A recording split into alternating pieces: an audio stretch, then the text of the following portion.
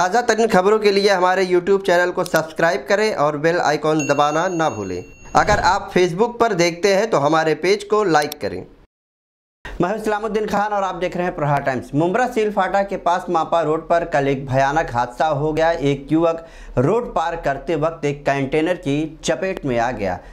घटना कल रात करीब 9 बजे के आसपास की है। इस हादसे में युवक बुरी तरह से घायल हो गया है। घायल युवक का नाम मुस्लिम है। उसकी उम्र करीब 30 वर्ष है। मुस्लिम लकी कंपाउंड परिसर का रहने वाला है। रोड क्रॉस करते वक्त कंटेनर की चपेट में आ गया, जिसमें उसके दोनों पैरों के ऊपर से कंटेनर का पहिया चढ़ गया। हालात बहुत ही गंभीर थी। दोनों पैर लगभग कट गए हैं। उस वक्त जानकारी ट्रैफ़िक पुलिस को भी दी गई, मगर घटना पर मौजूद लोगों ने बताया कि पुलिस काफ़ी देर से पहुँची, जिसके बाद घायल मुस्लिम को कालशेखर अस्पताल में भर्ती किया गया है। तमाम खबरों को जानने के लिए देखते रहिए प्रहार टाइम्स।